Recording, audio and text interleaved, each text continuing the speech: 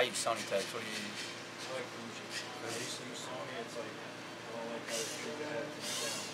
You don't? Like I had it in my old camera, a lot of tape parts. Huh. You know, someone told me it might be the tapes. Switch to Fuji. No problem after that. Happy dog.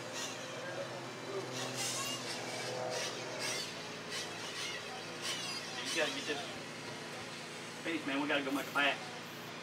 Hey, my name's Mike Burnett. I race for Team Wobbling. And today on Inside Tip, we're going to discuss proper maintenance of your car between rounds. After thoroughly cleaning the car, I like to start with the gear ratio and the gear mesh. I check the gears to make sure that they're meshing properly and that all the teeth are still on. Nothing's, nothing's malfunctioned there. The next thing we do is move to the belt. The belt system should, the tension should be checked, the gears should be checked to make sure that all the teeth are still on the gears, and then actually inspect the belt by turning the rear wheels and making sure that the whole belt is still intact. The next thing I like to do is I check the rear hubs. I simply twist on the rear tires to make sure that the, they're still locked down to the rear axle.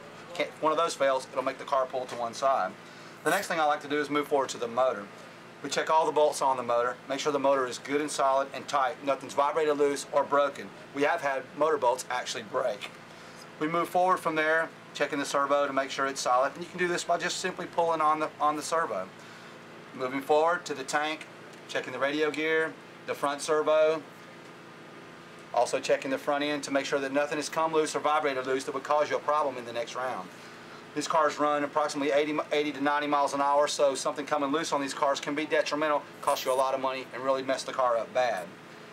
Um, once again, basically just check the whole car, make sure that it's sound and ready for the next round of, of qualifying or racing, whichever the case may be. I hope this has helped you, and this was your tip for today on Inside Tip. That was perfect. Okay, you ready? Hey, my name's Mike Burnett. No, it ain't. It's Mike Burnett. And this is what inside. Inside tip. I got that part. He's done burned that in my head. Ready? I'm walking around all day going inside tip. Ready? Okay, really? Ready? Hey, my name's Mike Burnett. I race for Team Walbert.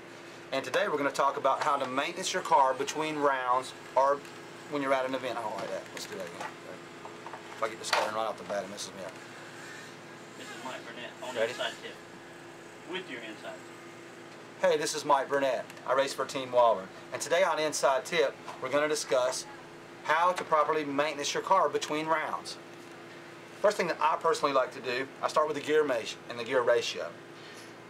The gears must be meshed, still meshed properly after you've run the car, making sure that each gear has all the teeth on it, that nothing's, you know, just inspect the gear by turning it round and round, make sure everything's okay. The next thing I like to do is move over to the belt system on it. Check the belt. Check the belt tension with your hands. Spin, spinning the transmission, checking the belt, every tooth on the belt, closely inspected. Make sure that the gears still have all of the teeth on them and they are not showing any sign of wear. The next thing that I like to do is to check the rear tires. So me and Joe got All all the- raced out of the way already. I told you he was going to do that, didn't I? I said, Woody's going to walk up here right in the middle of this thing. Ah, Woody. Uh, you're our security guard, Woody. Yeah, you're our security guard. Nobody He's comes no up. good for a security guard. Hey, my name is Mike Burnett. I race for Team Walburn. And today on Inside Tip, we're going to discuss how to properly maintain your car during qualifying. The first thing that I like to do after thoroughly cleaning the car is start with the gear ratio and the gear mesh. I inspect the, gears just visually by spinning the tire, watching the gears go round and round, making sure that each tooth is still on the gear exactly like it's supposed to be. I then hold one gear solid, moving the other gear, checking the gear mesh to make sure that it's just like I want it to be. The next thing I do is I move to the belt. This is a belt drive, so we check the tension on the belt to make sure that the belt is still properly tensioned. We spin the transmission by moving the rear tires, checking each tooth on the belt, each tooth on both gears, making sure that everything's still intact and ready for the next round. After that, moving forward, we check the motor, the motor mounts, to make sure that the motor is still solid, proper, that nothing has loosened up or broke. After that, you basically just simply move forward on the car, check the servo, make sure that it's not loose by just twisting it with your hand, the tank, the rest of the radio gear, to the front servo, make sure your batteries are still in place, check your front steering, make sure everything's intact. These cars run approximately 80 to 90 miles an hour. So, so if a car doesn't do exactly what you expect it to do, it can seriously cause damage to your car, which is bad news. Um, this has been Mike Burnett on Tech Inside Tip on Inside RC. Ta-da! Hey, this is Mike Burnett. I race for Team Walburn, and today on Inside Tip, is that right? Inside Tip. Sorry. Ready? Hey, this is Mike Burnett. I race for Team Walburn, and today on Inside Tip, we're going to discuss how to properly maintain your car between rounds of qualifying or eliminations. First thing I like to do after thoroughly cleaning the car is check the gear mesh to make sure that all the gears are still intact and that the mesh is appropriate. Moving from the gear ratio, gear mesh over onto the belt, we check the belt's tension by simply turning the rear tires, checking every tooth on the belt along with both gears to make sure that everything is proper and ready to race in the next round. The next thing we like to do is check the rear wheels. We do that simply by holding the back tires and trying to turn them independent of each other. They should not do that. They should be locked down on the axle and solid, therefore making the car go straight when you pull the throttle. Next thing we do moving forward to the motor is check all the motor mounts, motor bolts, make sure that they're tight, secure, not broken, and ready so that the, the car will be good and sound when you pull the throttle in the next round of qualifying. Next thing we do is move forward to the tank, the receiver, the servo, all the way forward, checking all the steering, make sure the wheels and tires are free to roll. Basically, you have to go over the whole car. These cars run approximately 80 miles an hour, and crashing one can be quite costly. So I hope this has helped you. Basically, though, just go over your whole car and make sure that everything's good. My name is Mike Burnett. This has been your Inside Tip on Inside RC. Three, two, one, action. Hey, this is Mike Burnett. I race for Team Walburn. And today on Inside Tech, we're going to talk about Inside. Three, two, one. Hey, my name's Mike Burnett. I race for Team Walburn. And today on Inside Tip, we're going to talk about how to properly maintain your car between rounds. First thing I like to do after thoroughly cleaning the car is start at the gear mesh. Make sure that the mesh has a little bit of slop in it, just enough so that the, the gears spin freely. While doing this, we check every gear to make sure that nothing has been chipped off or in any way damaged in the last time we ran the car. Moving on from the gears, we move to the belt. This is a belt drive system. The rear belt must have proper tension on it. We check that by moving the belt up and down. We move rear tires round and round, looking at the belt drive, making sure that all the teeth are on the belt, that all the teeth are on the gears, and that nothing has been damaged in that area. The next thing we like to do is to check the rear hubs to make sure that they're locked onto the axle. You do this by simply holding onto the rear tires, turning them independent of each other, which they should not do. They should be locked tightly on the shaft, the axle shaft. The next thing we do is move forward to the motor, checking all the bolts on the motor, trying to move the motor physically, make sure that everything's tight, that everything's properly aligned, making sure that in the next round everything's going to be just like we want it to be. Simply just keep moving forward, check the servo by simply putting pressure on it back and forth, seeing if it's worked its way loose, to the tank, to the servo, moving forward in the car, checking the front servo, make sure that your steering linkage is all hooked up like it's supposed to be, making sure that the tires spin independent and proper.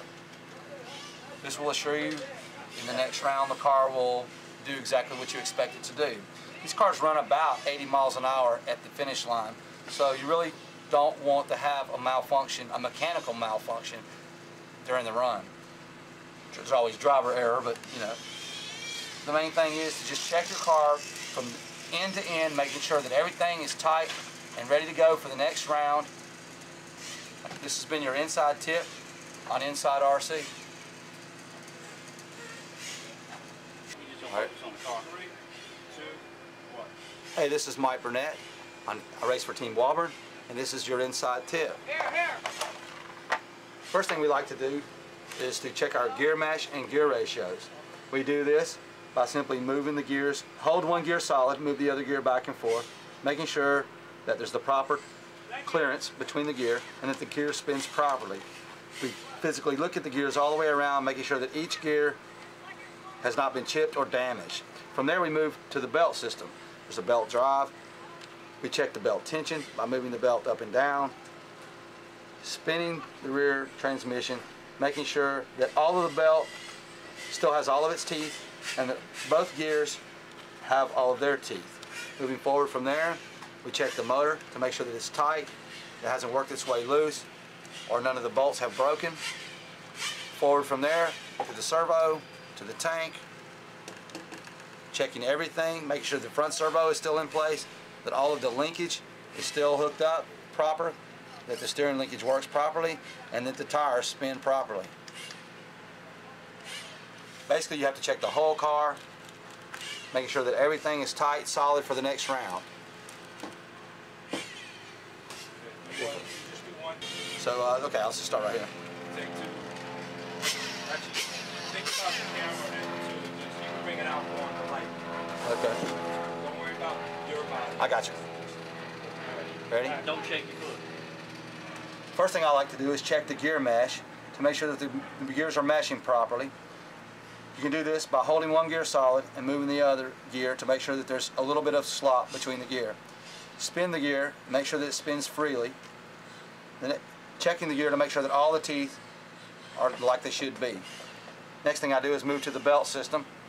Check the belt tension by moving the belt up and down, spinning the rear end, at this time, you should check the belt to make sure all the teeth are still on the belt and look like they haven't been damaged, along with the two pulleys, making sure that all of the pulleys have all of their teeth and there's no serious wear on either of the pulleys. Next thing we do is check the rear axles. We do this by simply holding the rear tires, trying to twist each wheel or tire independent from the other. They should not be able to do that. They should be locked down solid onto the axle. The next thing we do is move forward, testing the motor, make sure that the motor bolts are locked down solid, not broken, or have worked themselves loose. From there, you just move forward to the servo, trying to move the servo by hand, all the way forward to the front servo, make sure that it's good, check your steering linkage, making sure that it's working properly, make sure that the balls are tight. Move the wheels, spin the tires, make sure the tires are spinning properly.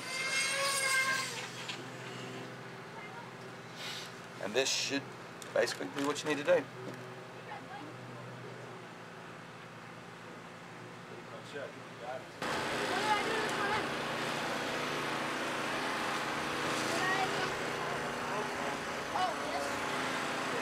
We'll see if we get you another axle.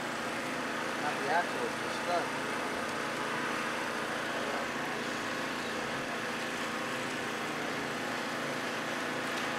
Let's get you back up there. You're just sitting around?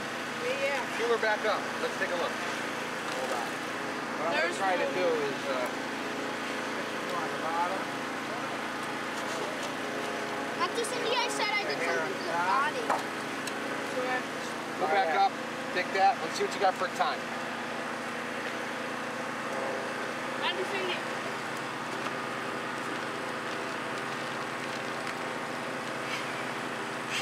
Let's see what we can do. These loops are still fine. right? Yeah. No, we'll be all right with that. Let me get your front axle. You're up to 50 plus miles an hour, so you're doing good. My, re- my, Your reaction time is good. my reaction time is slow. I only got 27. You're a player. Mahoney, go get me the 71 pin, please, sir.